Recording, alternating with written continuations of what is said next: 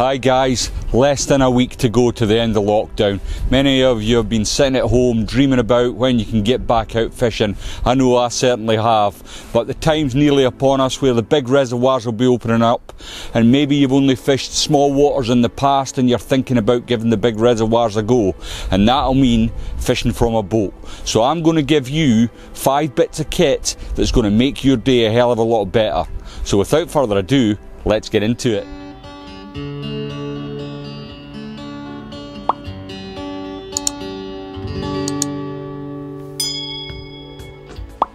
Okay, before we get into the bits of kit that's going to help improve your day, let's talk about the bare essentials. And we're talking life jackets. You must wear a life jacket while you're out boat fishing. It's uh, for your own safety, and many of the larger still waters now insist that before you even set foot on the dock, that you've got to be wearing a life jacket. Now, many of them supply them for use on the day when you hire a boat, but if you're doing a lot of this sort of stuff, you're best buy your own. You get you get the settings all right, and it just makes it much more comfortable to wear. So let's jump right in to the bits of kit that are going to help. Okay, number one, waterproofs. Now, I'm standing here on the banks of my lake at work actually, and uh, it's a fine day, and you would think, well, why would I need waterproofs? I've checked the weather forecast, there's no showers or rain forecast. I don't need waterproofs. Well, that's just simply not the case. On these larger still waters, especially early season, you can get quite big winds that will cause the, the water to form huge waves. And when you're motoring up and down those waves, it's like being in the North Sea. It's like somebody throwing a bucket of water over you. And I recall um, fishing a spring match a few years back where I, I was arguing with a, an intelligence officer, funnily enough, and he wasn't dressed appropriately. And I said, Look, you're going to get wet, you're not going to be comfortable, you're not going to enjoy your day. And he said, No, I'll be absolutely fine. I think he was wearing like a walking cagoule. It, it did make me chuckle at the time. But I was heading up the South Arm. Uh, many years that know Rutland Water will know the expanse of water I'm speaking of. And I didn't get as far as the peninsula before I decided to take him back to the dock because he was in the bottom of the boat in a quivering wreck because he didn't have the correct attire.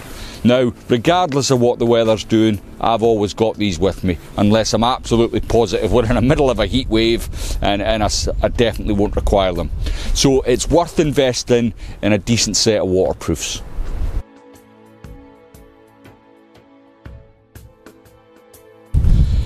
Number two then, boat seat. I'm using currently the Wychwood one. It has a, a back that folds out and it's a, it's a really comfortable boat seat. It, um, there's compression straps at the bottom to bind it to the thwart board and it's really comfortable.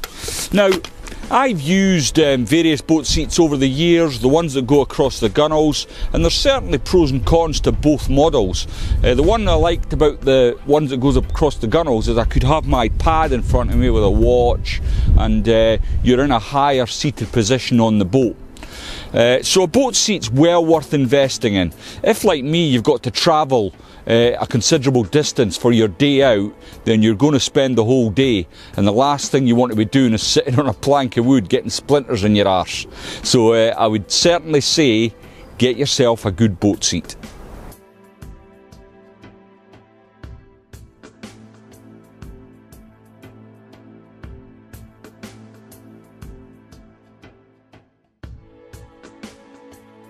Number three, then, uh, food and drink. So, uh, no, unfortunately, guys, Peroni are not sponsoring the channel. I just like this beer and I had it in the garage, so I brought it out to make my point. Food and drink, really important. If you're out all day, you know, you wouldn't go to work without taking your packed lunch or nipping out to Costa Coffee and getting a pastry and a cuppa. So why would you go afloat without taking ample food and drink?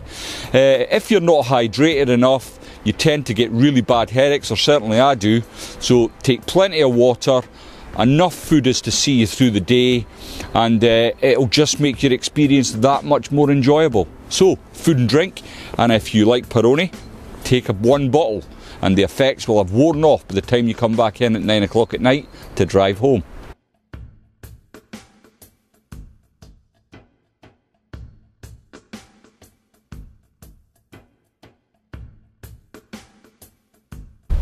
Number four then, a drogue. Now it may well be that you have got a mind to just get your boat, motor off to your favourite mark, throw the anchor over the side and fish for the day. And uh, you know, it's your money, you you take your choice. But you really are missing out on one of the greatest aspects of boat fishing, and that's covering the water. And you can do that much more effectively with a drogue. Now, I like to use this one, it, it packs away into its own little um, bag, and it's the Wychwood drogue. And I've actually tied the two ropes together, and I use that in conjunction with a couple of G clamps.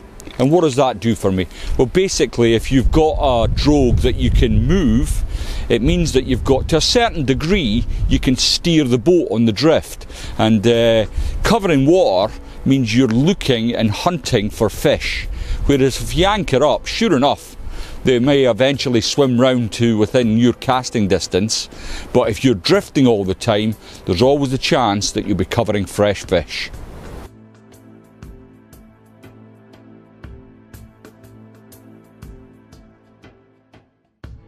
Number five then, a long handled net. Now this might seem like a, a bit of a no-brainer and you're maybe thinking, Lindsay, what are you on about? Of course I'm going to take a net. But if you're used to fishing small still waters, then you might only have a short net that you're not used to. Now, on a boat, the longer the handled net, the better. I use uh, one of these. It's a big pan net and much akin to what the coarse fishermen lads use. This is the Wychwood Boatman net, and if I loosen the clasp on this it extends out to a considerable length making it much easier to net fish from a seated position in the boat. Now, uh, you might well say, well, I can just stand up or I can just lean over the side of the boat, but you know where I'm going with this. If you're leaning over the side of the boat and you slip, um, the, the bottom of the boat's wet, you can be over the side and go to point one before I even started talking about the top five. Long handle nets are really important. Uh, a lot of the major reservoirs now, I know Grafham, Rutland, they are actually providing nets in the boats, and that's to prevent invasive species spread. But if many of the other large still waters, you may have to bring your own net. So I would advise you pick up a long handled net. And that's my top five bits of kit that'll help make your day on the water a lot better.